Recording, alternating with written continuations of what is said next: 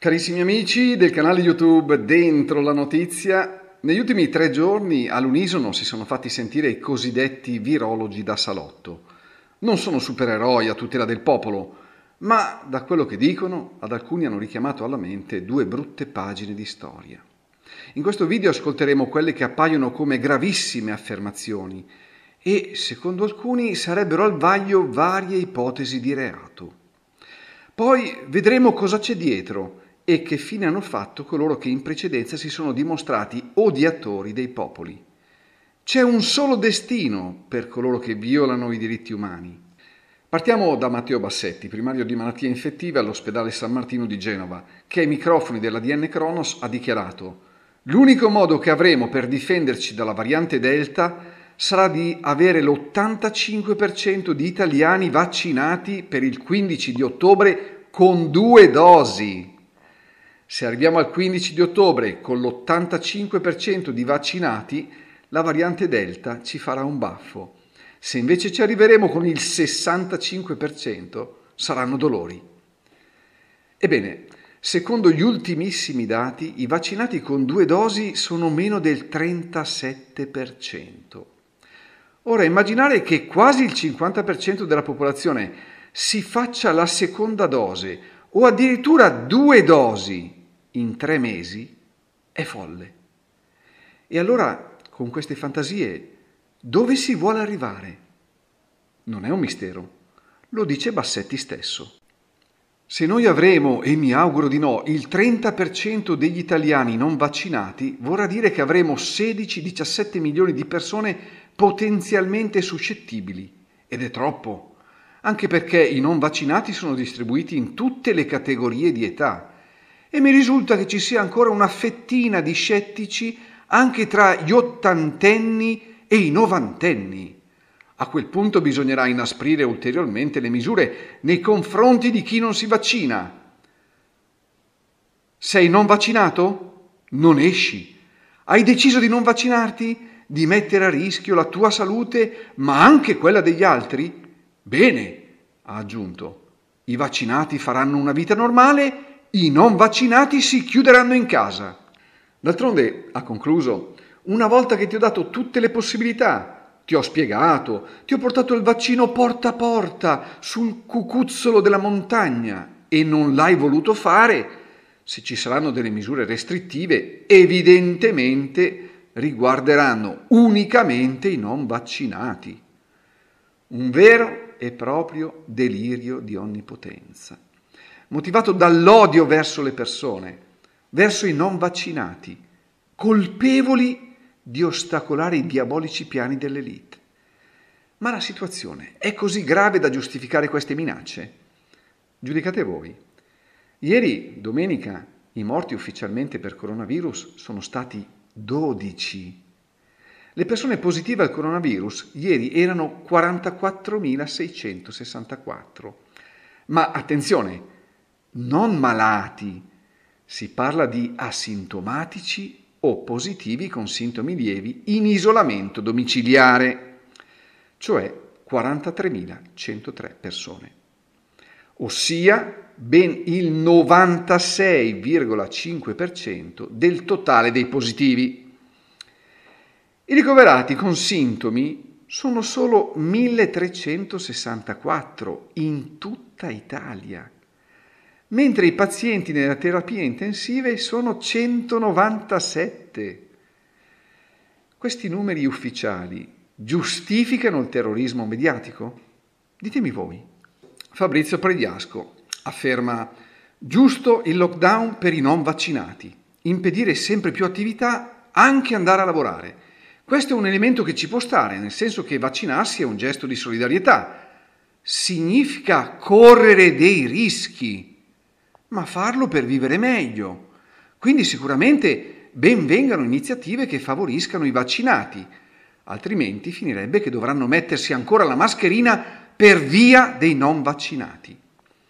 Secondo Pregliasco, il Green Pass dovrà essere utilizzato per impedire sempre più attività a chi non è vaccinato, dall'andare a lavorare a fare diverse altre cose. Insomma, afferma l'infettivologo, Bisogna introdurre elementi di difficoltà.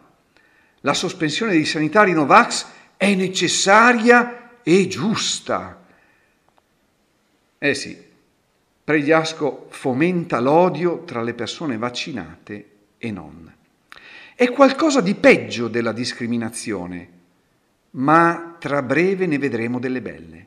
Usate lo stesso linguaggio da odiatori del genere umano, ben sapendo il danno che procurate alle persone più impressionabili. Perché si è arrivati a questo punto? Ci sono dietro solo interessi economici? Vediamo cosa insegna la recente storia europea ci vengono in mente due episodi di crimini contro l'umanità. Entrambi avevano una cosa in comune e quello che sta accadendo oggi è sulla falsariga di queste due tristi pagine di storia. Ma c'è un lieto fine. Vediamo. I mostri di Hitler è un saggio storico che studia la relazione tra nazismo e soprannaturale. Il professor Eric Kurlander, docente presso la Stetson University, L'ha scritto dopo aver indagato nei documenti degli immensi archivi tedeschi e dimostra che l'occulto ha avuto un ruolo cruciale nel processo che ha portato all'affermazione dell'ideologia nazista. Hitler era un grande estimatore dell'occultista Ernst Scherter e del suo trattato sulla magia, che studiò con molta attenzione ed anche i suoi più stretti collaboratori mai rinunciarono ad avere maghi ed astrologi personali. Sappiamo bene che fine fece Hitler. Heinrich Himmler è stato un generale politico e criminale di guerra tedesco. Dopo il misterioso volo in Scozia di Rudolf Hess, fino allora considerato il delfino del Führer, nel 1941, e il suo internamento in Gran Bretagna, Himmler fu considerato il numero due della Germania nazista assieme a Hermann Göring. I due infatti erano gli ufficiali più alti in grado di tutte le forze militari di quel tempo e perciò considerati i più potenti e influenti dopo lo stesso Hitler. Himmler fu anch'egli un fanatico dell'occulto. Vi sono prove che la politica nazista veniva decisa dopo sedute spiritiche. Catturato dagli inglesi per essere giudicato come criminale di guerra dal Tribunale Militare Internazionale di Norimberga, anche Himmler fece una brutta fine. Si diede la morte con una capsula di cianuro il 23 maggio 1945. Altro odiatore dei popoli che fece una brutta fine è stato più di recente Slobodan Milosevic, che morì nel 2006 mentre aspettava di essere processato per i crimini contro l'umanità, per le operazioni di pulizia etnica dell'esercito jugoslavo contro i musulmani in Croazia, Bosnia ed Erzegovina e Kosovo, dal Tribunale Penale Internazionale dell'AIA nei Paesi Bassi. Il processo a suo carico anche questa volta si estinse per sopraggiunta morte prima che venisse emessa la sentenza. Milosevic fu trovato morto nel carcere dell'Aia la mattina dell'11 marzo 2006. Poco prima della morte Milosevic aveva espresso timori che lo si stesse avvelenando. Il 12 gennaio 2006, due mesi prima della morte, vi era stato uno scandalo in quanto nelle analisi del sangue di Milosevic era stato rilevato l'antibiotico rifampicin, ordinariamente usato per la tubercolosi e la lebbra, e capace di neutralizzare l'effetto dei farmaci che Milosevic usava per la pressione alta e la cardiopatia di cui soffriva. Cosa aveva in comune Milosevic con il nazismo? Slobodan studiava il Mein Kampf e le videocassette dei discorsi di Hitler ed era sposato con una donna che si metteva in contatto con gli spiriti malvagi, Mira Markovic, soprannominata la strega rossa, morta in Russia due anni fa all'età di 76 anni. Era uno dei consiglieri più fidati e influenti di suo marito. Anche la politica di Milosevic si può dire dettata da creature spirituali malvagie. Markovic e Milosevic condividevano tragiche storie familiari. I genitori di Milosevic si sono suicidati entrambi, mentre la madre di Markovic è stata allontanata dal marito a causa di divergenze politiche durante la Seconda Guerra Mondiale. Altra brutta fine per chi viola i diritti umani. Pochi giorni prima della morte di Milosevic avviene nello stesso carcere quella di Milan Babic, ex leader dei serbi di Krajina, suicidatosi il 5 marzo 2006, impiccandosi nella cella dove scontava una condanna patteggiata a 13 anni. Non c'è pace né possibilità di farla franca per gli odiatori dei popoli. Brutta fine anche per Radovan Karadzic, politico e criminale di guerra serbo, già presidente della Repubblica Serba di Bosnia ed Erzegovina dal 1992 al 1996. Karadzic è stato condannato nel marzo 2016 a 40 anni di reclusione in primo grado dal Tribunale Penale Internazionale per l'ex Jugoslavia per genocidio, crimini di guerra e crimini contro l'umanità durante la guerra in Bosnia. In appello la condanna è stata commutata nell'ergastolo nel marzo 2019. Cari virologi da salotto, ora che sapete cosa attende gli accoliti delle diaboliche elite, pensateci bene prima di rendervi complici di violazioni dei diritti umani e altri crimini ben peggiori. No, non pensate di farla franca. Una nuova Norimberga o qualcosa di simile attende gli odiatori dei popoli.